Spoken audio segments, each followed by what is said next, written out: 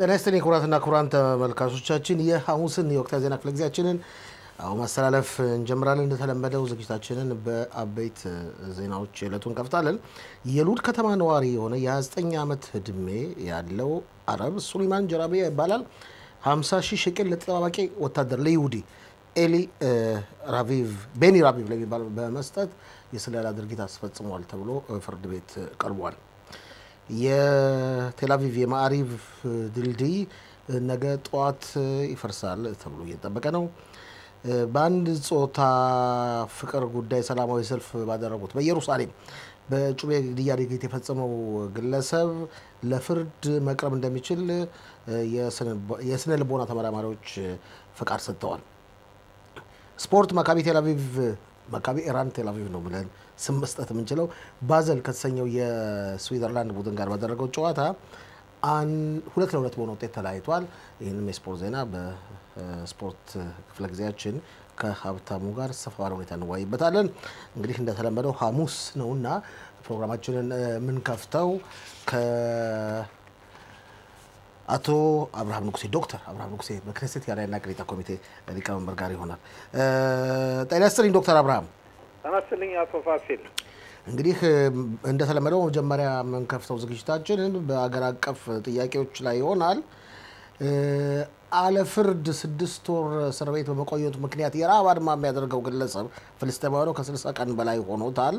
አሳሳቢ ደረጃ ላይ ይደርሳል ደርሷል ይባላል። በዚህ ምክንያት ምናልባት የሀማስ ድርጅት ወይ ሌሎቹ እርምጃ ይወስዳሉ እየተባለ ነው። እንዴት ነው አመለካከት? እንግዲህ ይሄ ሁኔታ በእውነቱ መታየት ያለበት በሴኪሪቲ ወይም በደህንነት አንጻር ነው። ይህ ሰውዬ በደህንነት አንጻር ወይም ደህንነትን በተመለከተ ሁኔታ ነው ያው በእገዳ ወይም በእስር ላይ ያለው። የሀማሱ ፍከራ ምንም አይደለም፣ የተለመደ ነው።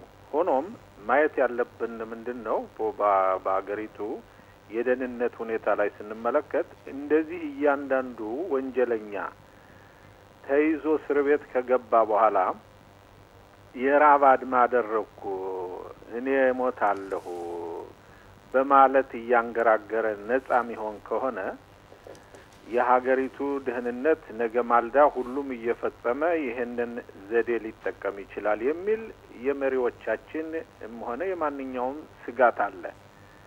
በዚህ ሁኔታ ላይ ማንኛውም ሰው እርግጥ ያለ ፍርድ የሚለው ሁኔታ የደህንነትን ጉዳይ በተመለከተ ለየት ያለ ሁኔታ ነው ያለው። ይሄንን ፍርድ የሚሰጠው መደበኛው ፍርድ ቤት ሳይሆን የወታደራዊ ፍርድ ቤት ነው። በተለይ ይሁዳና ሰማሪያ ቀበሌ ለሚኖሩት ማለት ነው። አዎ። እና ይሄ ሁኔታ ስለሆነ በትናንትናው ዕለት የከፍተኛው ፍርድ ቤት የሰጠው ውሳኔ ምንም እንኳ የከፍተኛው ፍርድ ቤት በሰብአዊነት ወይም በሁማኒታሪያን ደረጃ ቢሄድም ይሄ ሁኔታ ከደህንነት አንጻር ጋር የተያያዘ ስለሆነ የከፍተኛው ፍርድ ቤት በደህንነት አንጻር ጣልቃ መግባቱ ለሀገሪቱ የዲሞክራሲ ሁኔታ አሳሳቢ ሊሆን ይችላል ለወደፊቱ። በተለይም ምንም እንኳ አሁን አዲስ የረቀቀ ሕግ አለ። ያ ሕግ ምንድን ነው የሚለው አንድ የራብ አድማ የሚያደርግ ለህይወቱ አስጊ ከሆነ ሐኪሞች በግዴታ ምግብ ማብላት አለባቸው። እነሱ መች በጎ ፈቃደኛ ሆኑ? ዶክተር አብርሃም ሐኪሞች ውስጥ መች በጎ ፈቃደኛ ሆኑ? እኮ እዚህ ላይ ነው። አሁን ሐኪሞች ደግሞ በዓለም አቀፍ የሕክምና ሕግ መሰረት ይሄን ማድረግ አንችልም ነው የሚሉትኝ። ይህ በዚህ እንዳለ የሐኪሞች ይህንን ሕጉን አንጠብቅም ማለታቸው እና የእነዚህ ወንበዴዎች ወንጀል የሚሰሩት በደህንነት በኩል የሚደረገው ቅንብር በአሁኑ ደረጃ ከባድ ችግርን እያስከተለ ነው። ግልጽ ነው። በዚህ ይህን በዚህ ይበቃናል እናቁምና ወደ ሌላው ርዕስ ጉዳይ እንመለስ። ስለ ወንድማችን አበራ መንግስቱ ጉዳይ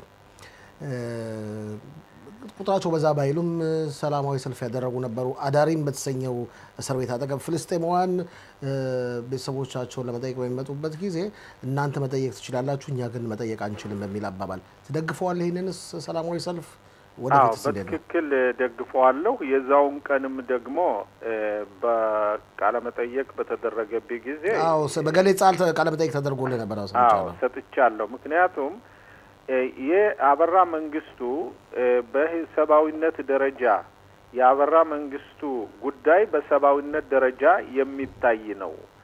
የሀማስ እስረኞች በሂውማኒታሪያን ወይም በሰብአዊነት ተብሎ አስፈላጊውን የሁማኒታሪያንን መብት ሲያገኙ ቤተሰቦቻቸው እየጠየቋቸው ከዚያው ከእስር ቤትም ደግሞ አስፈላጊውንም ትምህርትም ሆነ አስፈላጊውን እንክብካቤ ሕክምና እያገኙ ነው ያሉትኝ።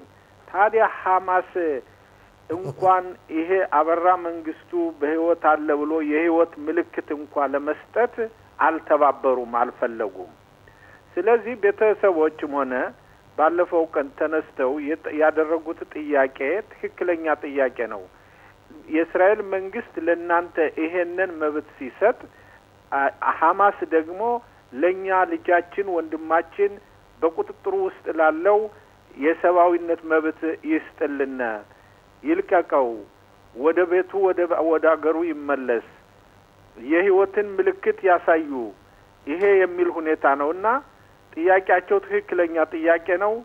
ይሄንን ሁኔታ ሁላችንም የምንደግፈው ሁኔታ ነው። ወንድማችን እኔም በመሰረቱ ይሄን ጉዳይ የሚከታተሉ የክፍሎች አሉ። በየጊዜው ከመጠየቅ ወደ ኋላ አላልኩም። እነሱም አዲስ ነገር አለ በነገራችን ላይ ወይስ ያው ነው?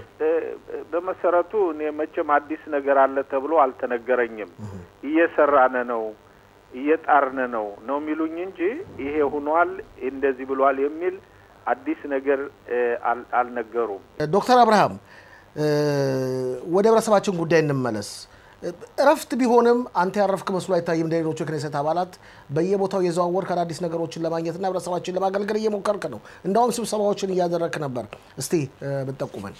አዎ በትክክል አሁን ምንም እንኳ የክነሴቱ ወቅት የእረፍት ጊዜ ቢሆንም በተቻለ መጠን ይሄንን በክነሴቱ ውስጥ ነጻ መሆኑ ወደ አካባቢው ወደ ህዝቡ በመውረድ ከህዝቡ ጋርም በመገናኘት እንዲሁም ደግሞ የተለያዩ መስሪያ ቤቶችም ደግሞ በመጎብኘት ላይ ነው ያለው። በተለይ በዚህ ሰሞን ውስጥ ካደረግኳቸው እንደሚታወቀው ሁሉ የሆክ ኢጹግ ሆሌም ወይም ደግሞ እኩልነት በሆነ መንገድ ህጉ በተግባር ላይ የሚውሉ ለእኛ ህግ ይወጣል። ኦኬ አዎ አዎ የወጣው ተግባራዊ መሆን አለበት የሚል ነሐሴ ሶስት ቀን የኮሚቴ ስብሰባ ማካሄድ ይታወሳል። በዛን ጊዜም ደግሞ የየመንግስት መስሪያ ቤቶች መጥተው ምን ያህል ሰዎችን እንዲያስገቡ ሪፖርት እንዲያደርጉ በተደረገው ስብሰባ ላይ የቀረበው ሪፖርት አጥጋቢ ካለመሆኑ የተነሳ ይሄንን ሁኔታ እርማት መደረግ እንዳለበትና ህጉ ሙሉ በሙሉ ተግባራዊ መሆን አለበት ሲል ለየመስሪያ ለየሚኒስትሮች መስሪያ ቤት ደብዳቤ ጽፌ ነበር። አሁንም በተግባር ወደ እንትኑ ይሄን እረፍቱን በመጠቀም ከአንዳንድ ብዙ ሰራተኞችን ያስገባሉ ከሚባሉ ድርጅቶች ጋር ስብሰባ አካሂጃለሁ።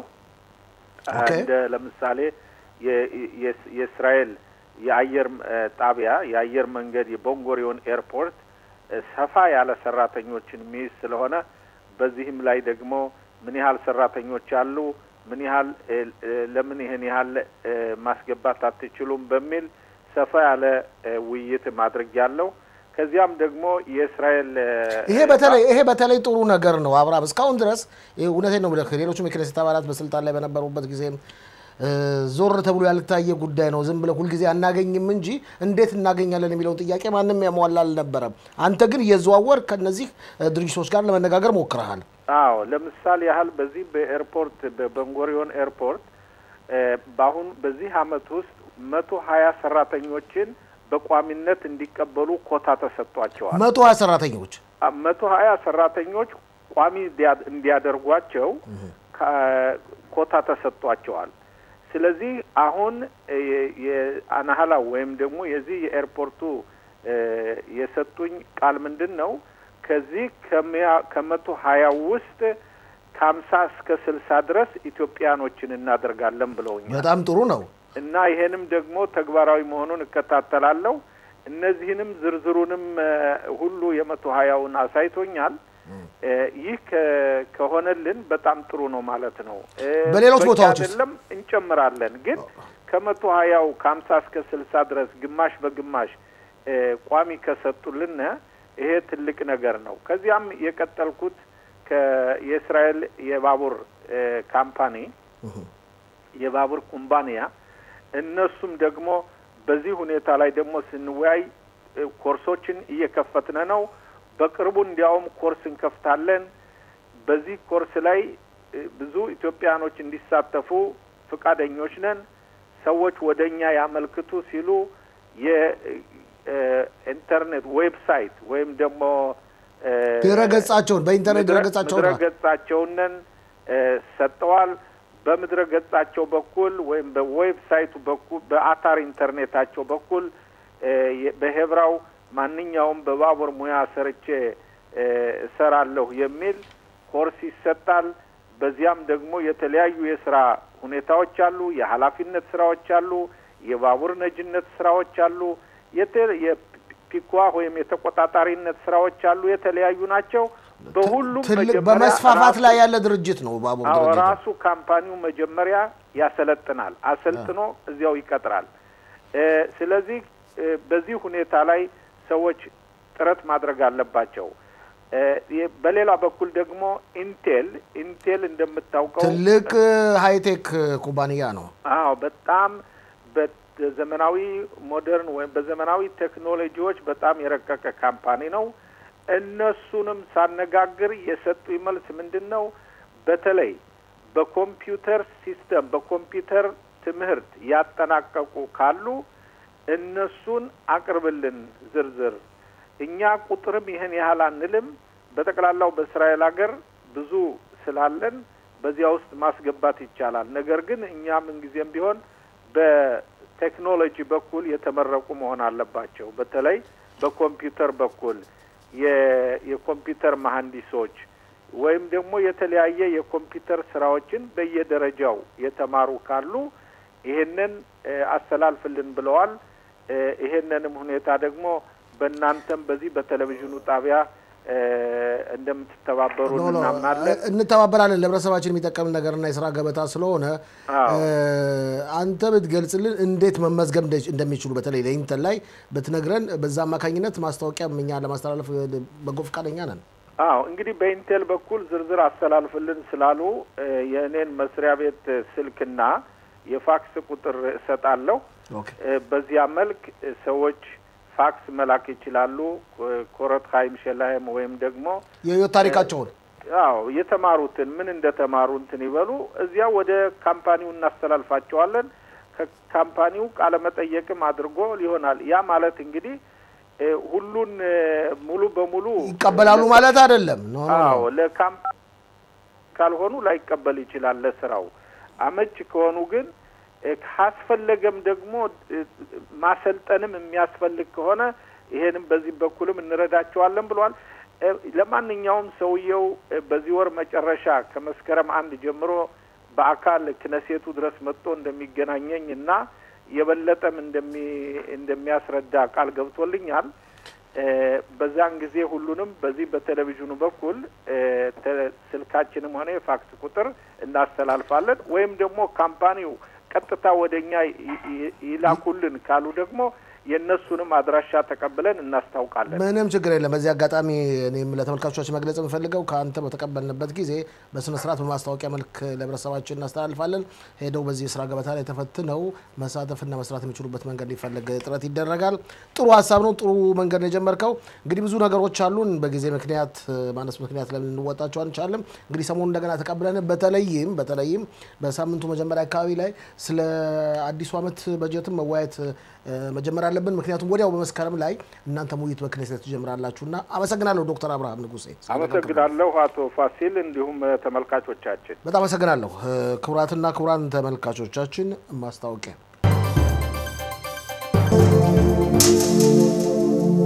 חציון. שלום. מראייה לאחור שאתה מסתכל, עדיין הבעיות של הנוער לא נפתר. מה אתה אומר על זה?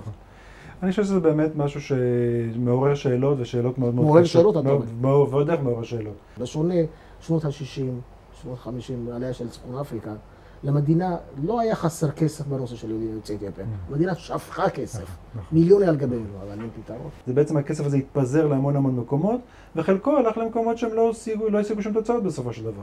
רב אקשטיין היה פעיל בקרב יוצאי אתיופיה בעלייה של יהודי קוארה, אוקיי?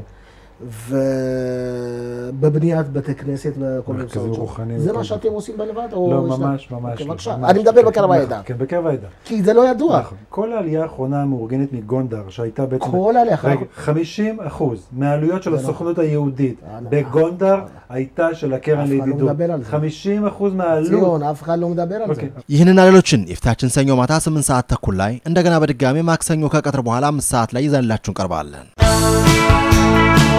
ጤና ይስጥልኝ ውድ ተመልካቾቻችን፣ ሀገራችን እንወቅ የሚል ተወዳጅ ፕሮግራማችን አሁን ጀምር ነው። ይህ ፕሮግራም ሶስተኛ ዓመቱን እያከበረ ነው።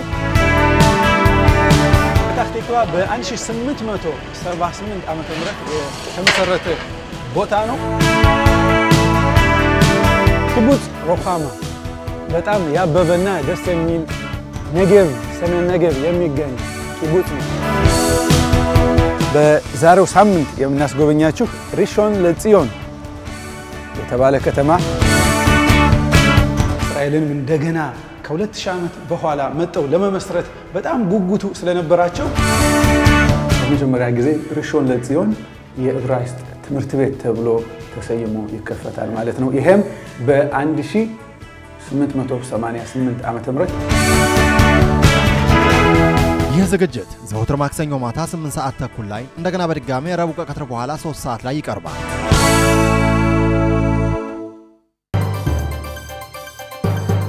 ከማስታወቂያ ተመልሰናል። ክቡራትና ክቡራን ተመልካቾቻችን ሰሞኑን ማስታወቂያ መልክ አቅርበነው ነበር። ትምህርትና ማብራሪያዎች ይህም በማስመልከት አያኖት በተሰኘው አዳሪ ትምህርት ቤት የአዳሪ ትምህርት ቤት መምህራን፣ ተወካዮች፣ ወጣቶች ሁሉም ስብሰባ ቤተሰቦቻቸውን ጭምር ስብሰባ አድርገው ነበር። ከጥቂት ሳምንታት በፊት ነው። በስብሰባውም ተገኝተን ተከታትለን ነበር። በመጠኑ ማክሰኞ ዝግጅታችን አቅርበናል። አሁን ደግሞ በሰፊው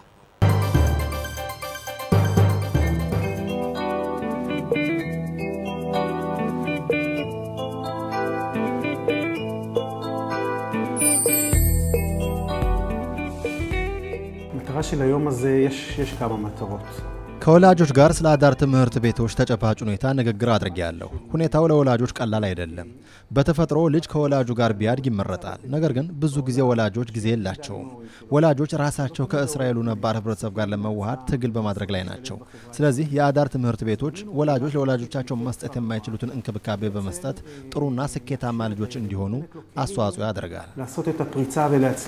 ዛሬ በአጠቃላይ በየአመቱ የወጣቶቹ አዳሪ ትምህርት ቤት የሚማሩት ተማሪዎች ወደ የእረፍት ሰዓታቸው በሚወጡበት ሰዓት ወላጆች አደራውን እንዲቀበሉ በትምህርቱ ዘመን ልጆቹን ለእኛ አደራ ሰጥተዋል።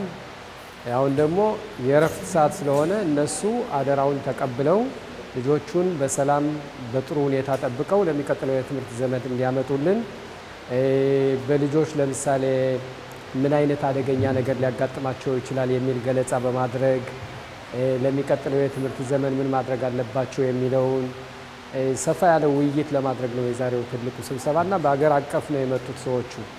ዛሬው ቀን በጣም ደስ ይላል። እንዲህ መጦ እንደዚህ ለልጆቻችን በጣም መጠን ተሳትፈን እንደዚህ ለማየት ለምን ለእናንተ ሳይሆን ለእኛ ለልጆቻችን በአካል ልጆቻችን በጣም ደስ የሚል ነገር ነው የምንሰማው ያለ በጣም ደስ ያለ ስንት ልጆች አሉት አዳር ትምህርት ቤት የሚማሩ? ሁለት ልጆች አሉኝ ቶሚም ፈንታዎች ነው ትምህርት ቤት? አይ አሁን ነው የጀመሩትኝ ነበሩኝ እየጨረሱ አሁን ወደ ቤት እየሆነ ነው ያሉ ሌሎችም በአዳር ትምህርት ቤት ዙሪያዎች ስለ ልጆች ያሚን ወርድ የሚባል ትልቋ ልጄ ስትማር ነበረ። ወደዚህ ቀን ተሳታፊ እንዲሆኑ ያነሳሳውት ምንድን ነው? ልጆች ትምህርት ቤት ሂደው የሚሰሩትን ሁኔታና በፕሪሚያ ደግሞ ገብተው የሚያደርጉትን ሁኔታ ለመረዳት ለማወቅ ስንል የመጣ ነው። እስካሁን ድረስ ምን አወቁ? ብዙ ነገሮችን አውቀናል። የተናገሩት ስለ ፕሪሚያው እንዴት ብሎ እንደሚሄዱ እንዴት ምን እንደሚሰሩ ምን እንደሚያደርጉ በሀይማቸው ምን እንደሚሰሩ እንደገና ደግሞ ለእኛ እነሱን ኃላፊነትን ለፒኒሚያ ወይም ደግሞ ለአስተማሪዎች ለሌሎችም ሰዎች መተው ሳይሆን እኛም ኃላፊነቶችን መውሰድ አለብን። ምክንያቱም እኛ ልጆቻችን እናስተምረው መጀመሪያ ከቤታችን ከቤት ደግሞ እኛው ራሳችን ሆነን ተቀላቅለን ደግሞ በትምህርት ቤቱ መጠየቅ፣ መደወል፣ ሁልጊዜ ማዳመጥ አለብን። ዝም ማለት የለብንም። ይህንን እየተማርን ነው። እንግዲህ እርግጠኛ ነኝ ወላጆች ዛሬ የመጡት በጣም ደስተኞች ናቸው። ከዛ ባሻገር ደግሞ የሀገራቸውን ሙዚቃ የሀገራቸውን የሚያስታውስ ሁለት የባህል ተጫዋቾች ባልና ሚስት እነሱ የሚሰጡትን ሙዚቃውንም በማድረግ መልእክቱንም ለማስተላለፍ ለሚቀጥለው የትምህርት ዘመን ልጆቻቸው በሰላም ወደ ትምህርት ገበታቸው እንዲመለሱ ለማድረግ ነው። Yeah.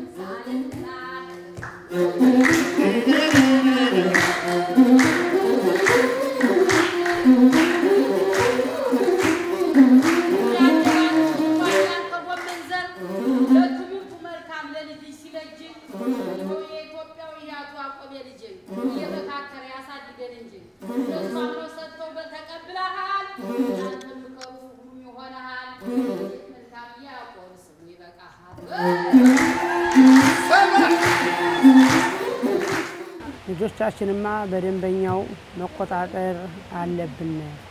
ኃላፊነቱ ሎለ ትምህርት ቤቱ ለወላጅ ነው፣ እናት አባት ነው ኃላፊነት ትልቅ ኃላፊነት ያለው።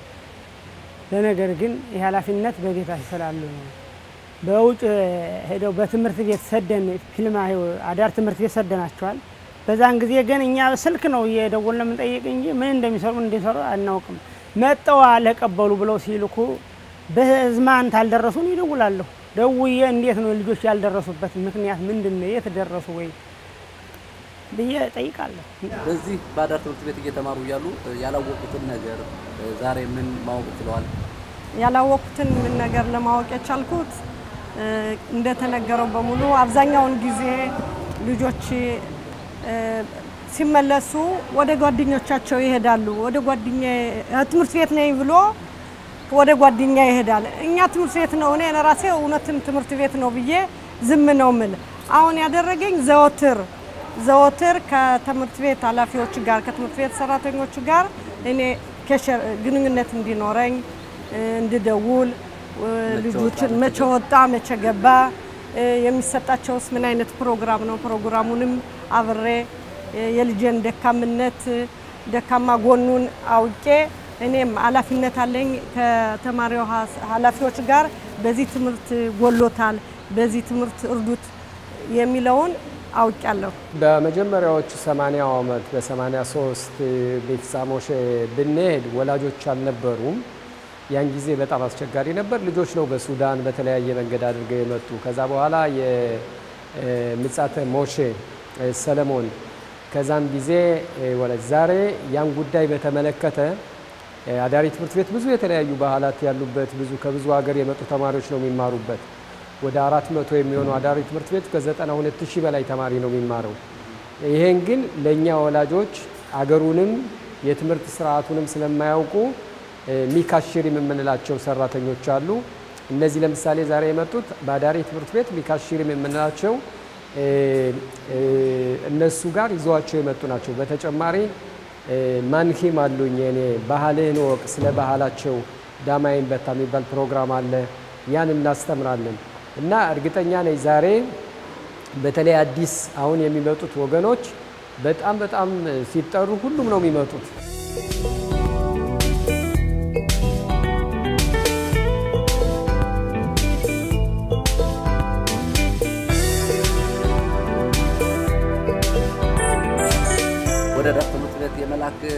ፍላጎት አለ? ይህንን የዳር ትምህርት ቤት በተመለከተ ሀሳቡን ለመቀየር ችለዋል ወይስ እንዴት ነው?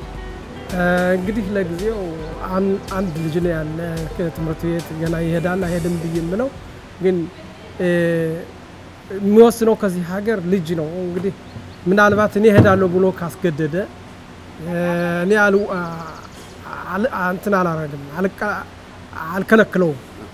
ግን ይሂድና ይማር፣ መከታተሉን ግን እንከታተላለን። ከዚህ ቀን በኋላ ለየት ያለ አባት ይሆናሉ በልጆች ዙሪያ ቤታ በሚገባ በምን አይነት እንዴት በምን አይነትማ ልጆቻችን ካሉ ከቤታችን ኃላፊውነን የምንወስደው እኛ ነን። ከትምህርት ቤት ከሄዱ ገና ለትምህርት ቤቱ ኃላፊ ሰጠናል። እኛ እየደወልነ መጠየቅ አለብን። በቀን በቀን ቢያንስ በሳምንት አንድ ቀን በሳምንት አንድ ቀን እየደወልኩ መጠየቅ መብት አለኝ። ልጆች አዎ ግዴታም አለኝ እና ያን ሰውዬ ኃላፊዬን እንዴት ነው ልጆች ማድሪክን እንዴት ነው ልጆች እንዴት ይማራሉ እንዴት ይሄዳሉ እያልኩኝ መጠየቅ ግዳጅም አለኝ።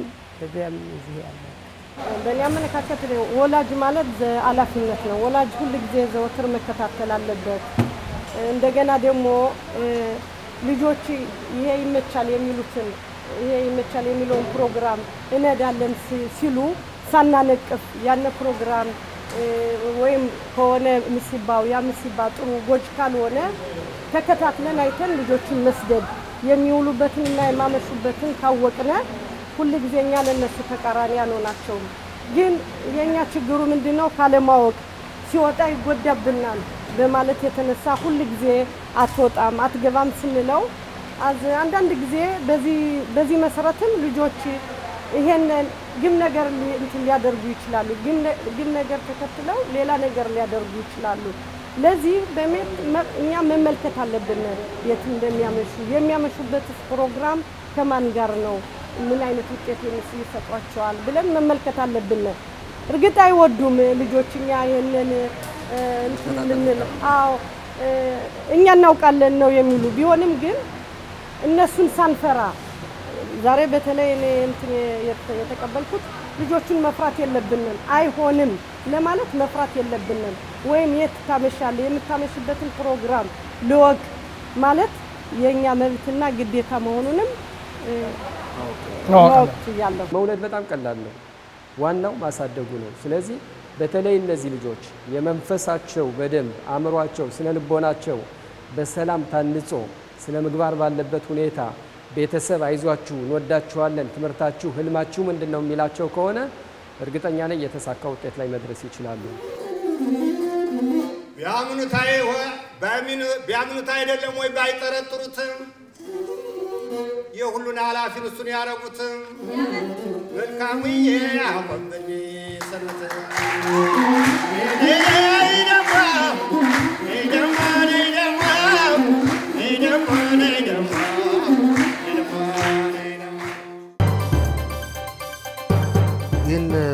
ዘገባ በስነ ስርዓት እንዲፈጸም ከተግባር ላይ እንዲውልና እናንተ እንድትመለከቱት ከፍተኛ አስተዋጽኦ ያደረጉት ባልደረቦቼ ሪፖርተራችን ምህረት ታከለን፣ ፊልም አንሺ በቃሉ መቆየትንና editor አልማዝ መሰለን አመሰግናለሁ። አሁን ደግሞ ወደ ሳምንቱ የድረ ገጾች የትዊተር የመሳሰሉት ዘገባችን እናልፋለን። ወርቅነሽ ረታን አዘጋጇን ዛሬ የታወቀው የአርብ አርብ የመገናኛ መሪዎች ፕሮግራም አዘጋጅ ሁልጊዜ እሱ ነው የሚለውጣት። ምህረት ታከለ መስመር ላይ ይገኝ መስመር ላይ ሳይሆን በዝግጅት ክፍል ነው የሚገኘው። ጤና ይስጥልኝ ምህረት። ጤና ይስጥልኝ ፋሲል። ምን ይዘውልን ቀርበዋል ዛሬ ምህረት? እስኪ በዛሬው የመገናኛ መረቦች ዙሪያ እንግዲህ ቅድም እንዳልከው ወርቅነሽ ነች በዚህ ላይ ትኩረት የምታደርገው ቢሆንም እኔም አንተ ዋናው ነህ አርባ አርብ የምታቀርቧት ግን እሷ ነች የምታስተላልፈው። አሁን ደግሞ አልፎ አልፎ አለ። ዛሬ ምን አለ? በዛሬው ዕለት ባለችን የተወሰነች ሰዓት ላይ ደቂቃዎች ሁለት ርዕሶችን ይዤ መጥቻለሁ። እነሱም አንደኛው በእኛ ህብረተሰብ ዙሪያ ያተኮረ ነው። ሁለተኛው ደግሞ ዓለምን እያነጋገረ ያለ በብዙሀን የመገናኛ መድረኮች ላይም ትልቅ ቦታ ተሰጥቶት ስላለ ርዕስ ይሆናል። የመጀመሪያው በእኛ ህብረተሰብ ቡድኖች የፌስቡክ ቡድኖች ላይ ከፍተኛ ቦታ ተሰጥቶት የመወያያ ርዕሱ ነው የሚገኘው በአሁኑ ጊዜ የቄሶችና የራባኖች ጉዳይ ነው። አሁንም አሁንም አልቀዘቀዘም? አልቀዘቀዘም ይሄ ነገር? ይህ እንዳለ ሆኖ በዚህ አድርጌ ወደ የት ነው መሄድ የምፈልገው? አሁን የወጣቱ ህብረተሰባችን ከተለያዩ የተቃውሞ ሰልፎች በኋላ አሁኑ በአሁኑ ጊዜ በፌስቡክ መረዳት እንደሚቻለው ወደ ራሱ ወደ ታሪኩ ወደ ማንነቱ ወደ ባህሉ የመመለስ ሁኔታ በከፍተኛ ደረጃ ላይ ይገኛል ማለት እፈልጋለሁ። ይህን ደግሞ ስለዚህ እኛ የምናስተላልፋቸውም ነገሮች ይከታተላል ማለት ነው። እንግዲህ ከተመለሰ እኛም እናስተላልፋቸው ነገሮች የበለጠ ይከታተላል ብዬ አስባለሁ። ከአሁኑ የበለጠ ለምን ወጣቱ ክፍል በተለይ በሰላሳዎቹ እድሜ በሀያዎቹ እድሜ ያለ ወጣት እስካሁን እንደምታውቀው ፋሲል ሁሉም እንደሚያውቀው አማርኛ የመናገሩ ሁኔታ ባህልን የመናገሩና ከምዕራቡ ዓለም ጋር የመዋሃዱ ከፍተኛ ፍላጎት ባህላችን፣ ቋንቋችን፣ ማንነታችን እንድንረሳ አድርጎ ነበር። አሁን ግን ስንመለከተው በተለይ በዚህ በፌስቡኩ ዓለም ላይ ወጣቱ ክፍል ራሱን ፍለጋ እንደተያያዘ እናያለን። ይሄ ነገር ይገርመሃል፣ በዓለም ላይ ያለ ነገር ነው። በህብረተሰባችን ዘንድ እንደዚህ መድረሱ በጣም ሁላችንም የሚያስደስተን ነው። በጣም የሚያስደስተን ነው። ይህንን ይህንን ስል አሁን ባሳለፍነው ሳምንት ሁለት ወጣቶች የሃይማኖት ቢሮን ራብ አንፈልግም የምንጋባውም ራሱ በራሳችን ባህል በራሳችን የጋብቻ ስነ ስርዓት በራሳችን የሃይማኖት መሪ በቄስ ነው በማለት ባልና ሚስት ተጋብተዋል። ይህ ደግሞ ከፍተኛ ውይይትን እንዲከፍት አድርጓል። ምክንያቱም እንግዲህ በሃይማኖቱ ክፍል በሃይማኖቱ መስሪያ ቤት በኩል የተላከ ራብ ካልሆነ በስተቀር ማንኛውም ፍቃድ የሌለው ማጋባት አይችልም። ቢሆንም ወጣቶች ግን እኛ የራሳችን ባህል ነው የምንፈልገው፣ የራሳችን የሃይማኖት መሪ ነው የምንፈልግ፣ ቤተሰቦቻችን እንደሚያደርጉት ነው የምናደርግ የማለቱ ሁኔታ ብዙ አነጋጋሪ ነው። ሌላ እንግዲህ በአንድ በኩል እንግዲህ በአንድ በኩል የመመለሱ ሁኔታ በጣም ደስ ይላል። ምረት በአንድ በኩል ጥሩ ነገር ነው፣ በሌላ በኩል ደግሞ ያለንበት ህብረተሰብን መመልከት ያስፈልጋል። እንዋድ እንጂ ባህላችን መጠበቅ ጥሩ ነው። ባህላችን መቀበል ልንዋደድ ነው እንጂ መጣለው ልንለይ አይደለም ለማለት ነው። ይሄ ሌላው ጎኑ ነው። እኔ የምመለከተው ወደ ራስ የመመለሱን ሁኔታ ነው። ሌላው ፋሲል ሁለተኛ አድርጌ የወሰድኩት ደግሞ የውጭ ነው ብለኸኛል። እሱ ደግሞ ያለም ነው ያለም ነው ፋሲል እርግጠኛ ነኝ አይተህ ይሆናል። በዚህ ሳምንት ውስጥ አሽሊ ሜዲሶን የተባለው አይቼዋለሁ። በሚሊዮን አንተ ታነሳዋለህ ብዬ አልጠበቅኩም ነበር። ያው መብት ነው ተናገሮች። በሚሊዮኖች የሚቆጠሩ ባለትዳር ወንዶች ሌላ ሴቶችን ባለትዳር ሴቶች ሌላ ወንዶችን የሚፈልጉበት የሚተዋወቁበት የኢንተርኔት መድረክ ነው። ይሄ የሚሊዮኖችን የሚያስተናግድ የኢንተርኔት ድረገጽ በኢንተርኔት ወንበዴዎች ወይም የኢንተርኔት የተለያዩ እንግዲህ በስውር ባል ሚስቱን ሊከዳ ሚስት ባሏ ልትከዳ በዛ ኢንተርኔት መገናኘት ይችላሉ። አንተ በግልጽ አልከው፣ እኔ ትንሽ ያው ግልጽ እናድርገው ነገሩን። እሺ ቀጥል። እሺ እና የነ የኢንተርኔት ድረገጽ በኢንተርኔት ወንበዴዎች ወይም ህገ ወጥ በሆኑ የኢንተርኔት መረጃ ዘራፊዎች ተዘርፎ ለዓለማችን ለአደባባይ ወጥቷል። እንግዲህ ስሙ እየወጣ ነው አለ ወጥቷል። ባለ ትናንትና ዕለት ተዋውቋል። 37 ሚሊዮን ሰዎች በዚህ ኢንተርኔት በመላው ዓለም በመላው ዓለም አዎ በመላው ዓለም በዚህ ኢንተርኔት ተጠቃሚ በመሆን ከሚስቶቻቸው ሌላ ሴት ሲፈልጉ ከባሎቻቸው ሌላ ሌላ ወንድ ሲፈልጉ መረጃዎችን አውጥተው ለአደባባይ አቅርበዋል። ሁሉም ዓለም እየተነጋገረበት ነው። በእስራኤል ሀገር በዚህ ኢንተርኔት ድረገጽ 170 ሺህ ሰዎች ይጠቀማሉ። ከነሱ መካከል ከነሱ መካከል 40 ሺህ የሚሆኑ ሰዎች የኢሜል አድራሻቸው ከነ ስልክ አድራሻቸው ሁሉ ተጋልጿል። ማንኛውም ሰው ገብቶ ማየት ይችላል። እርግጠኛ ነኝ ብዙ ቤተሰቦች ወደ ፍቺ እየተሯሯጡ እንደሆነ በአሁኑ ጊዜ ወደ ፍቺ ያልከው ትላንትና ይገርማል። ተከታትዬ ነበር በዜና ፕሮግራም በብራይስ ዜና በአንዱ ጣቢያ ስመለከተው አንድ በጣም የታወቀ ዶክተር የሕክምና ዶክተር ከዛ አልፎ ተርፎ አንድ የክኔሴት አባልን በዚህ ውስጥ አሉ። ግን ሌሎች ወደፊት ይጋለጣ ወደፊት ይጋለጣሉ የሚል አለ አመለካከት አለ። የፓርላማ አባሉ ተጋልጧል ተናግሯል። እሱ ተናግሯል። እኔ አይደለሁም ምናምን ያለውን በእኔ ስም ተጠቅመው ነው ምን ፈልግ ያለውን ሰምተዋል። እኔ ምን ፈልገው ቤድዊ ነው አረብ ነው። እኔ ሚስት አለኝ። ከሚስቴ ሌላ ደግሞ ሁለት ሚስቶች አሉ። አዎ ከሚስቴ ሌላ የድዋ በፂቡር ማለት ሌላ ተቀማጭ ቅምጥ ማለት ነው በአማርኛች ቅምጥ አለች። ምን ሴ ሌላ ቦታ አስፈልገኛል የሚል አመለካከት ሁሉ ሰንዝሯል። ይገርማል። ምህረት ታከለ በጣም አመሰግናለሁ። ከአንተ ጋር እንግዲህ ነገ ዛሬ ምሽት ደግሞ ቅድመ መኝታ ክፍለ ጊዜ አለህ። ከዛ በተጨማሪ ደግሞ ነገ በጉጉት ተመልካቾቻችን የሚጠብቁትን መገናኛ መረቦች ክፍለ ጊዜ ይዘህ ትቀርባለህ። እስከዛው ድረስ መልካም ምሽት። መልካም ምሽት ፋሲል። ክቡራትና ክቡራን ተመልካቾቻችን ማስታወቂያ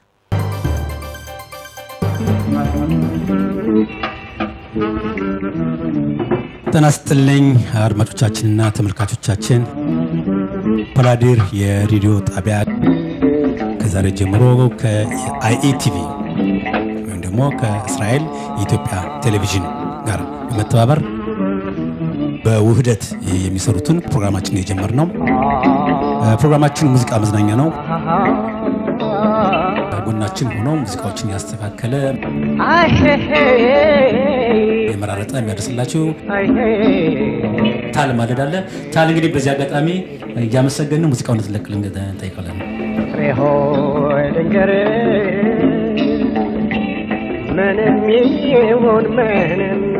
አሁን ብዙ ነው፣ ሰፊ ነው፣ ብዙ ሰፊ ነው፣ ውቅያኖስ ውቅያኖስ ነው። እውነት በሆነ ቃል ስለዚህ ዘፈን እኔ ጥላሁን እጠይቃለሁ። እሺ፣ እንዴት ነበረ ጋሼ ይሄን ዘፈን ስለው እኔ ራሴ አላውቀው ነው።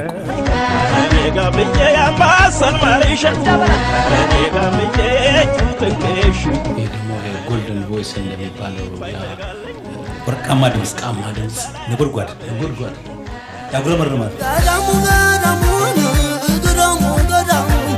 ገዳሙ ገዳሙ ገዳሙ ገዳሙ ገዳሙ ገዳሙ ምንድን ነው? የእሱ ሙዚቃ ከማንም ቤት ይለያል ብዬ አላምንም። ይህ መዝናኛ የተሰኘው በእስራኤል የኢትዮጵያ ቴሌቪዥን ጣቢያና አዲር ድምፅ ራዲዮ በመተባበር የተቀነባበረ ተከታታይ ዝግጅት ዘወትር ረቡዕ ማታ 8 ሰዓት ተኩል ላይ እንደገና በድጋሚ ሐሙስ ከቀትር በኋላ 5 ሰዓት ተኩል ላይ ይቀርባል።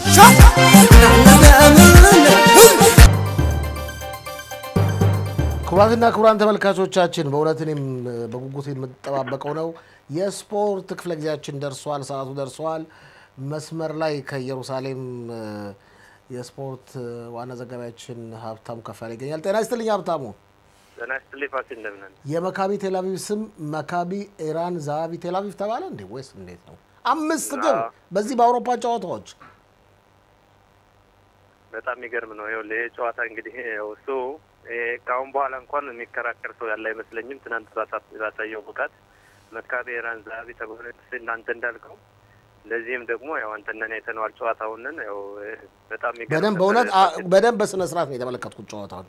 የሚገርም ነው። በጣም አዎ። አሁን ወደ እሱ ወደ ልጁ እንሄድ ካልን ከመካቢ ቴልአቪቭ ጋር ያደረገው ትናንት እሱ ይሄ ይሄ ልጅ ምን ያክል እነዚህን አስር ተጫዋቾች በእሱ እየመራ ማለት ነው እንግዲህ በእሱ እሱ ተሸክሞ ማለት ነው ሲያንቀሳቅሳቸው የነበረ እስከዚህ ድረስ ነው የምታስበው አንተ? እንዳንተ አመለካከት ተሸክሟቸዋል ነው የምትለው ወይስ እነሱ እነሱም ረድተውታል ነው የምትለው?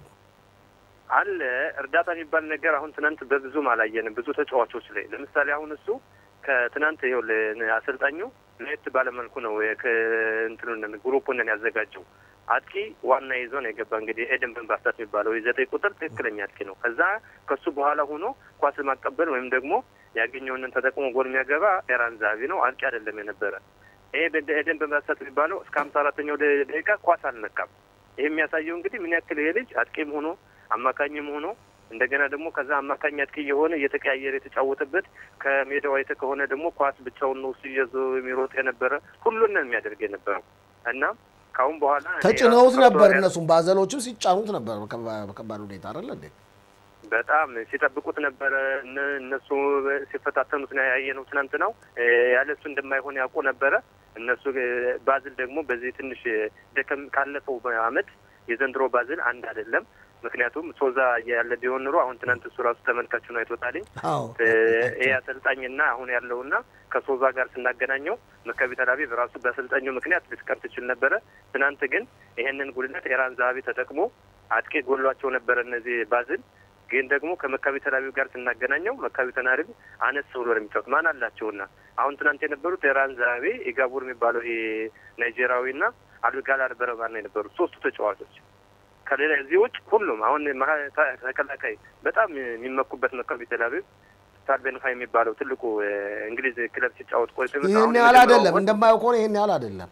በጣም እንጂ ትናንት በቃ እንግዲህ እሱ ብዙ ልምድ ያለው ተጫዋች ነው። እንደዚህ አይነት ጎል የሪጎሪ ድርጊት ያው ተዘናግቶ ነው ያው አደረገ። ከዛ ደግሞ እሱና የሆነች ፑንጊን የሚባሉት ሁለተኛዋ ጎል ልትገባ የቻለችው ደግሞ በእነሱ መዘናጋት ነው።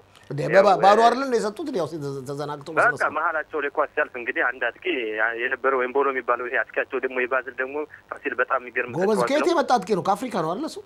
ከአፍሪካ የመጣ ካሜሮናዊ ነው። በጣም የሚገርም ተጫዋች ነው። ይሄ ለወደፊቱ ከትላልቅ ክለቦች ይደርሳል ብዬ ነው የምገምተው። ይኸውልህ አሁን ይሄ ተጫዋች የሀያ አመት ተጫዋች ነው። ይህኛው ተከላካይ ሄታል ቤንሃ የሚባለው ሰላሳ ምናምን አመቱ ነው። እንግዲህ ራሱ የሰውነታቸውንን ጉዳይ ማየትና ጉልበታቸውንን ማየት ትችላለህ። ምን አይነት የሀያ አመት ተጫዋች እንደዚህ አይነት ጉልበት ይዞ ከዛ ደግሞ ቴክኒክ የተሞላው ተጫዋች በጣም እሱ ነበር ትናንት ሲፈታተናቸው የነበረ። ይሄን ደግሞ እንግዲህ ያው ምዕራን የተ- በሁለት ጎል በትልቅ ተአምር እንግዲህ መካቢ ተላቪቭ ለወደፊቱ ያው የሚሸጋገርበትንን መንገድ ሰጥቶታል። ፋሲል እ፣ ሀብታሙ ምን ትጠብቃለህ ከመልሱ ጨዋታ? መቼ ነው ደግሞ መልሱ ጨዋታ የሚካሄደው? የመልሱ ጨዋታ እንግዲህ የሚቀጥለው ከስድስት ቀን በኋላ የሚቀጥለው ማክሰኞ ነው። ይሄ ጨዋታ አሁን ትልቅ አሁን ትልቁ አሁን ባዝል free ሆነው ነው የሚመጡት ለዚህ ጨዋታ ምክንያቱም ሁለት ለሁለት በቤታቸው ስላለ እንግዲህ ትልቁ እድል ያለ አሁን ለመካቢ ተላቪቭ ነው ብለው እነሱ ደግሞ እንደ መካቢ ተላቪቭ እንግዲህ ከሰው መጡ መካቢ ተላቪቭ ባዝል ሄዳ ግብታለች ሁለት ጎል ባዝል ደግሞ ይህንን የማያደርጉበት ነገር አይኖርም ብዬ ነው የምጠብቀው። ለዚህ ደግሞ ዩካኖቪች አሁን አልተነጋገርንበትም ስለ አሰልጣኝ እኮ ልናገርበታለህ ብዬ ነው። የምንጨርስ ብዬ ደግሞ ለዚህ ያው ትልቅ መልስ ይሰጣል ብዬ እጠብቃለሁኝ። okay ቀጥል ቀጥል። ባዝል ያው ይሄን ነገር ሊያልፈው ይችላል ብዬ የምንጠብቀው ይሄ አሁን ትናንት አንተ ግምት ምንድን ነው? ያልፉታል ነው አያልፉም? ማካቢ ያሸንፋል? መካቢ ባያሸንፍም ይሄን ጨዋታ አንድ ለአንድ ወይም ዜሮ ዜሮ በሆነ ውጤት ከተለያዩ መካቢ ተላቪቭ ነው የሚያልፈው። ምክንያቱም ሁለት የውጭ ጎል ይዘው ስለመጡ ያልፋሉ። መጨረሻ ላይ ጥያቄ ሲተንብይ ያልፋሉ አያልፉም? እኔ ያልፋሉ ብዬ ነው ግምቱ የምሰጠው ለመካቢ ተላቪቭ። ግን ያው አሁን ደግሞ እንግዲህ መካቢ ተላቪቭ ሄደው ባዝል ላይ ሁለት ለሁለት ጎል ይዘው ይመጣሉ ብለን እንዳልገመት ነው እንዳልጠበቅ ነው ሁሉ ሊያደርጉ ይችላሉ። እነዛም ሊያደርጉ ይችላሉ። አሰልጣኙን ባለፈውን ጊዜ ጠይቄሃለሁ ሀብታሙ፣ እንዴት ነው የምታየው? ጥሩ ነው? አሰልጣኙ እስካሁን ባሳየው ብቃት እኛ ይሄ ነው ማለት አንችልም ነበረ። ትናንት ግን ይሄ አሰልጣኝ ትልቅ አሰልጣኝና ልምድ ያለው አሰልጣኝ እንደሆነ አይተናል። ምን እንግዲህ አንተነን እንደምናስታውሰው ይሄ አሰልጣኝ የመጣው ከቻምፒዮንሺፕ ከሚባለው የእንግሊዝ ፕሪሚየር ሊግ ነው የመጣ። ይሄ ደግሞ እንግዲህ ያው ለእኛ ሆነ ለአውሮፓ በጣም ትልቅ ልምድ ያለውና ጨዋታን እንዴት ተጫዋቾችን እንደሚያዘጋጅ ትናንት ቆንጆ የቤት ስራ ነው ያሳያቸው ለዚህ ሀገር አሰልጣኞች ራሱ ይኸውልህ መሀል ላይ አሁን ያደረገው የጋቡርና ጋላር ብርማን የሚባሉት እነሱ የባዝልንን አጥቂዎች በቃ ሄደው እግራቸው ድረስ እየወደቁና ኳስንን እንዴት እነሱ ጋር ሆነው አድርገው መጨረሻ ላይ አሁን ትልቁ ነገር ደግሞ መካቢ ተላቪቭ ያገዘው ይሄ ያንኮ የሚባለው የአውስትራሊያዊ የባዝል አስ- አጥቂ እሱ ተጎድቶ ሀያኛው ደቂቃ ነው የወጣ እንጂ ጎበዝ ነው እሱ ባዝል- ጎበዝ ነው? በጣም ትልቅ ተጫ ይጠበቅ የነበረው እሱ ነው። ከሱ በፊት ደግሞ ከጨዋታው አልተሰለፈም። አንድ እንደሱ ደግሞ ትልቅ አጥቂ ያነ ከና እንደየው አልነበረም። ይሄን ተጫዋች ሲያጡ ባዝል ምንድን ነው ያደረጉት? ይሄ ኤምቦሎ የሚባለውንን የቀኝ ክንፍ ሆኖ አጥቂ ሆኖ ነው የሚጫወተው። ያነ ሲጎዳ እንግዲህ እሱንን ላኩት አጥቂ አድርገው መሀል ላይ እንግዲህ ጉድለት ተፈጠረ ማለት ነው ባዝል። ይህን ደግሞ መካቢ ተጠቅማ መጨረሻ ላይ ለዚህ ደረጃ ያደረሰው ይሄ ትልቅ አጥቂ ነው፣ አሰልጣኝ ነው ዩካኖቪች የሚባለው። እነዚህን ጉድለቶች እያየ ተጫዋቾችንን በተጫዋች ቀይሮ አሁን ምሳሌ ላይ ሁለተኛው ጎል የገባው ዶርሚካ የሚባለው እሱ ሰማንያ ስምንተኛው ደቂቃ ነው ገብቶ ዘጠና ስድስተኛው ደቂቃ ላይ ለኤራን ዛሀቢ ያቀበለው ወደ? ሌሎች አዎ፣ ግልጽ ነው። እስቲ አውቆ እናቁምና ማካቢን አንድ ሁለት ደቂቃ ስለተተረፈን ጊዜ ሌሎች ውጤቶችንና ጨዋታዎችን እንመልከት። ወደ ውጭ ሀገር ዜናዎች በማለፍ አንድ ጨዋታ እንድንመለከት ነው መጋብዘን። ማንቸስተር ዩናይትድ እና ክለብ ብሩዥ ያደረጉትን ጨዋታ ሶስት ለአንድ ይመስለኛል ማንቸስተር ዩናይትድ አሸንፏል። ሌሎቹንም ጨዋታዎች ተከታታይ የነበረ ሰሞኑ ያው የአውሮፓ ሻምፒዮን ያደነቁት ተጫዋች አለ ሜምፊስ የሚባል ተጫዋች እንዴት ታየዋለህ? አዎ ይህ ተጫዋች ደህና ነው ፋሲል። ግን አሁን እኛ እኔ እንዳየሁት ከሆነ ተጫዋቹ ጨዋታ መደነገጥ አለበት ማንቸስተር ዩናይትድ አዎ በዚህ ጨዋታ። ይህም ማለት እንግዲህ አሁን ክለብ ብሩጅ ምንም ደህና ክለብ ትልቅ ክለብ ነው በሀገሩ፣ ግን በአውሮፓ ክለብ ደግሞ ብዙ ስለዚህ ሶስት ለአንድ የሚያስደንቀን አይደለም ነው የምትለው አንተ?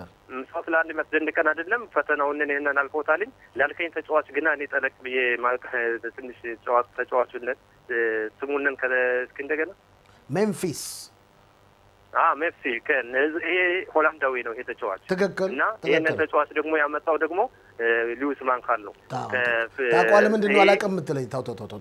ታውቀዋለህ እንጂ በደምብ ጎበዝ ተጫዋች ነው አይደለ? በጣም ትልቅ ተጫዋች ነው። እኔ ለወደፊቱ ይሄ ተጫዋች ለክለቡ ብዙ ዓመት ያገለግላል ብዬ ነው የምጠብቀው። አይተህ ፌኖርድ ነው ሲጫወት የነበረ ይሄ ተጫዋች ቫንካል ይሄንን ነገር ሊያደርግ የቻለው ደግሞ ታውቃለህ፣ አሁን ብዙ ትችት የሚሰጠው ቫንካል ይሄ ደቡብ አፍሪካ የሚጫወቱ ተጫዋቾችንን እና ስፔናዊ ተጫዋቾችንን አይወድም ነው የሚባል። ምክንያቱም እሱ የአውሮፓ ተጫዋቾችን ነው በዛው አውሮፓዊ ስለሆነ እንደዚህ ሆኖ አሁን ራሱ ፔድሮ ባርሴሎናው በሱ ምክንያት ወደ ማንቸስተር ዩናይትድ አልገባም ብሎ ቼልሲ ፈርሟል እየተባለ ነው። ብዙ ተጫዋቾችን ቫንካል እየፈለገ እምቢ የሚሉት ጉዳይ ሁላ አለ። ብዙ የድሮ ተጫዋቾች ሁላ ለማንኛውም በቂ አይደለም ውጤቱ ጥሩ ነው የምትለኝ በአጠቃላይ ሁኔታ አዎ እስካሁን ሶስት ጨዋታ ሳይተዋል። በሊጉ ሁለት ጨዋታ ማንቸስተር ዩናይትድ እና ይህንን ደግሞ በአውሮፓ ቻምፒዮንስ ሰላሳ ሁለት ምድቡ ለመግባት ደግሞ ክለብ ብሩዥ ቀላል ክለብ አጋጥሟቸው ጎል መግባቱ ራሱ በቤታቸው በቀል በመጀመሪያ ስምንት ደቂቃ ላይ ይሄ ራሱ ብዙ የቤት ስራ እንደሚቀረውና እሱ አሁን እንግዲህ ባንካን አድርጎት ያለው ብዙ ወደ ሁለት ሶስት የሆላንዳዊ ተጫዋቾችንን እንዳልኩ አንድሬ መምስ የሚባለውንን እነሱን ሰብስቦ ነው። እነዚህ ደግሞ ልጆች ናቸው። እንግዲህ ለወደፊቱ ምናልባት ብቃት ያሳያሉ እንጂ አንዳንዴ ጥሩ ተጫዋች ሆኖ ልምድ ከሌለ ደግሞ ያው ለክለቡ እንቅፋት ይሆናል ብዬ ነው የማስበው። ይሄ ነው እንግዲህ ግልጽ ነው። እንግዲህ ክቡራትና ክቡራን ተመልካቾቻችን አንተም ጭምር የሚቀጥለው ሳምንት ከአንተ ጋር እሁድ እንገናኛለን። ከዛ በተረፈ እንግዲህ የሚቀጥለው ሳምንት በድጋሚ ነው የሚቀጥለው ሳምንት ያልኩት የመካቢ ቴል አቪቭን እግር ኳስ ውጤት እንመለከታለን። አመሰግናለሁ ስላነጋገር ከና በጣም በጣም ነው አመሰግናለሁ። ክቡራትና ክቡራን ተመልካቾቻችን ይህ ዝግጅት የሚተላለፍላችሁ ከእስራኤል ኢትዮጵያ ቴሌቪዥን ጣቢያ ነው። ፕሮግራማችን ይቀጥላል። የጣቢያችን ምክትል ዋና አዘጋጅ ጥላው መልኬ በዝግጅት ክፍላችን ይገኛል። እንደተለመደው የሀገራችን እንደሰነበተችንና ነገ የምናቀርበው ሌሎች ፕሮግራሞችን ያስታውቀናል። ጤና ይስጥልኝ ጥላሁን። ጤና ይስጥልኝ ፋሲል። እንግዲህ መድረኩ ያንተ ነው። ምን አለ ፋሲል? ያው አዎ እንደተለመደው ሀገራችን እንዴት ሰነበተ ዝግጅታችን ነገ ስድስት ሰዓት ላይ የሚቀርበው በሳምንቱ ማጠቃለያ ዜናዎች እንጀምራለን። ተረኛ አቅራቢ ምህረት ታከለ ይሆናል። ከዛም ቀጥታ ወደ ዊት ክፍለ ጊዜ ነው የምናልፈው። ፋሲል የመረጥናቸው አራት ርዕሶች አሉ። የመጀመሪያው በያዝነው ሳምንት እንግዲህ ከአብራካችን የወጣው አባራ መንግስቱ በሀማስ እጅ ይገኛል። የእሱ ስም ደግሞ የተወሳበት ሁኔታ አለ። እሱን በተመለከተ እንግዲህ ቤተሰቦቹ ሰላማዊ ሰልፍ አድርገዋል። ይህም በተመለከተ ዊት አለን። ከዛም በቴል አቪቭ የሚገነባውን የቀላል ባቡር ሀዲድ በተመለከተ ፋሲል እንግዲህ ትንሽ በከተማይቱ ውጥረት ያሳያል። የመኪናዎች መጨናነቅ ይታያል። ይህም በተመለከተም ወደፊት የሚጠብቀውን የሚጠብቀን ሁኔታ እንግዲህ ቴል አቪቭ ዙሪያ ከ50 ዓመት በላይ ከዛም በላይ ሲታሰብላት ያለውን ነገር ያገኘች ይመስላል ይመስለኛል። ሰሞኑን እኛም ተነጋግረንበታል አይደለ እንዴ? ትክክል ፋሲል። ያው እንግዲህ እስከ መቼ ተፈርቶ ይኖራል ነው የመንገድና ትራንስፖርት ሚኒስትሩ እስራኤል ካጽ በቃ ለአንድ ለመጨረሻ ደፍሮ መግባት ችግሮች ሊፈጠሩ ይችላሉ። በዚህ እንደሚባለው ነገር አለ። ነገ በጠዋት ነው የሚሆነው ይባላል። በተለይ አንድ ድልድይ ያላቸው ማሪቭ የሚባል ድልድይ በፊት የማሪቭ ጋዜጣ ጽሕፈት ቤት የነበረበትን እሱን ራሳቸው ናቸው በተኑን ወይም ካፍቶሩን ወይም እንትኑን ያው የሚጫኑት የሚያፈነዱት የልጅ ጨዋታ አንዱ ምን አለ የልጅ ጨዋታ አደረጉት ምናምን ያለ። ለማንኛውም እኚህ ትልቅ ሰው ናቸው። ምክንያቱም እስካሁን ድረስ የተባለውን ነገር እና ሳይሳካ የቆየውን ነገር ነው ያሳኩት አይደለ እንዴ? በትክክል በትክክል እርግጠኛ ነኝ እሳቸው በስልጣን ዘመናቸው እንግዲህ እንደዚህ አይነቱን ስራ ሰርተው ቆይተን ልናስታውሳቸው ወደኋላ ዞር ብለን እያንዳንዱ ምን ሰራ ግን እኮ ብዙ ጊዜ ነው የሚፈጀው አይደል እንዴ ነገር? አዎ የስራ ዘመኑ እንግዲህ ወደ ሰባት ዓመት ፋሲል ሰባት ዓመት እንግዲህ በአካባቢ የሚገኙ የንግድ ማዕከሎች ይረበሻሉ። እንደገና ከውጭ ወደ ውስጥ ወደ አቪቭ ወጣ ብለው እንግዲህ የሚኖሩት ይሄን በማስመልከት ውይይት አለን። okay አለን በትክክል ከዛም ፋሲል የምናልፈው እንግዲህ የሀገሪቱ ባጀት ያው ከዚህ ጋር የተያያዘ ነው። ከዚህ ውይይት ጋር የሀገሪቱን ባጀት በተመለከተ ደግሞ ምንም እንኳ ካቢኔው ቢያጸድቀውም ወደፊት ግን በፓርላማ ደግሞ ውጣ ውረድ ይጠብቀዋል። ቀላል አይሆንም። ይህም በተመለከተም ሰፋ ያለ መረጃ እንቀበላለን። ከዛም ወደ ውጭ ወጣ ስንል ፋሲል እንደተለመደው ከውጭ አገር ዜና ተንታኛችን የምንቀበለው መረጃ ስደተኞችን በተመለከተ ነው። እንግዲህ የአውሮፓ ሀገሮች ትንሽ ተቃውሞ እያሳዩ ነው። እነዚህ ትንሽ ብቻ አይደለም ከባድ ነው ምለው ጥላሁን በፊት መካከለኛው ምስራቅ ነበር እነዚህ ስደተኞች በተለይም ከአፍሪካ የመጡ ስደተኞች ወደ በግብጽ በኩል ወደ እስራኤል የሚመጡ ነበር። አሁን ይህ ሁኔታ በመዘጋቱ ምክንያት ከዛ በተረፈ የመካከለኛው ምስራቅ ጦርነት አውሮፓን እያጨናነቀ ነው አይደለ እንዴ? በትክክል አሁን በከፍተኛ ሁኔታ እንደ ዳይሽ እና ሌሎች ሽብር ፈጣሪዎች ነበር ዓለምን የሚያዋክቡት የነበር። አሁን ደግሞ በቀጥታ የውጭ መገናኛ ብዙሃን ትኩረት የሚያደርጉ ስደተኞች አልኩ እንደ- ዳይሽ እንደሚያደርጉት ነው አልከው። በቃ ብዙሃን መገናኛው አዎ ትኩረት የሚሰጡት ይህን ነው። ይባስ ብሎ ደግሞ ፋሲል ሁላችንም እንግዲህ በመገናኛ ብዙ እንደምናየው እነዚህ ኮ ከእንዲያው ህይወታቸው የተረፍ ነው ወደዛ የሚደርሱት እንጂ ከመድረሳቸው በፊት ደግሞ ሜዲትራኒያን ባህር ውስጥ በመጥለም እንግዲህ የሚሞቱት ደግሞ መቼም እነዚህ አፍሪካውያን ያው ትንሽ ያልታደሉ ያሳዝናል፣ ማለት በጣም ይቻላል። ያሳዝናል። አዎ ይህን በተመለከተ እንግዲህ ፋሲል ሰፋ ያለ ለምን እንዴት የአውሮፓ ሀገሮች ምን ለማድረግ አስበዋል፣ ያው መልስ እንቀበላለን። ቀጥታ ከዚህ ወደ ማዕከላዊና ሰፋ ያሉ ዘገባችን ስናልፍ በህብረተሰባችን ዙሪያ ከተወሰኑ ሳምንታት በፊት ማለት ነው እንግዲህ በአሊያና ቅሊጣ መስሪያ ኮሚቴና በሀገር አስተዳደር ኮሚቴ አንድ ላይ በመሆን እንግዲህ የተደረሰ ስምምነት አለ። እስቲ እንመልከተው። ቆይ መጀመሪያ ያዘጋጀነውን ማዕከላዊና ሰፋ ያለ ዘገባ ከዛ እንመለሳለን።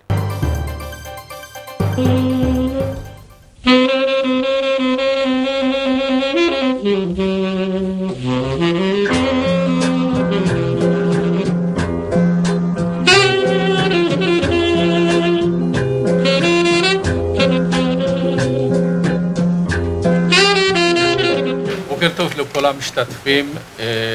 אנחנו דנים היום בהשלמת העלאת שארית יהודי אתיופיה. משפחות נפרדו, הורים עם ילדיהם, ילדים, הוריהם, ואחים ואחיות, ודודים ודודות.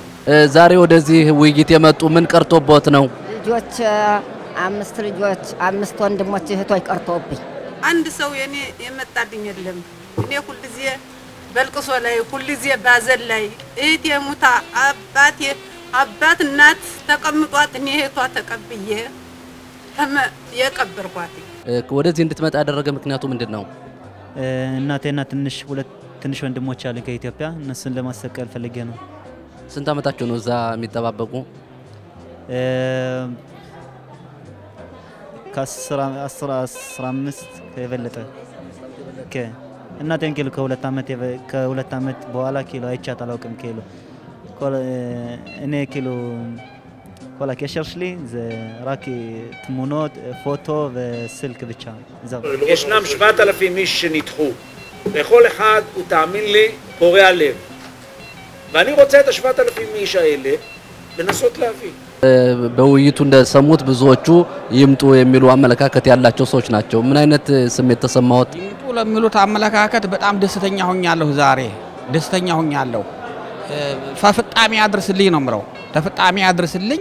እግዚአብሔር ደግሞ መጠው ተች ሀገር ገብቶ አይን ላይ የምታይ ይሁን ተወንድሞቼ ጋር ተልጄ ጋር 15 ዓመት የተለያየሁ እና ተች ሀገር ገብተው አይናቸውን ለማየት ያብቃኝ ነው ምለው የዛሬው ውሳኔ ጥሩ ነው። ይምጡ የሚሉ ብዙ ሰዎች አብዛኛው ሰምቻለሁ። ፍጻሜው ቢያምር ተደስቻለሁ። መጨረሻውን ያሳምር እግዚአብሔር ብዬ ነው የምመኝ።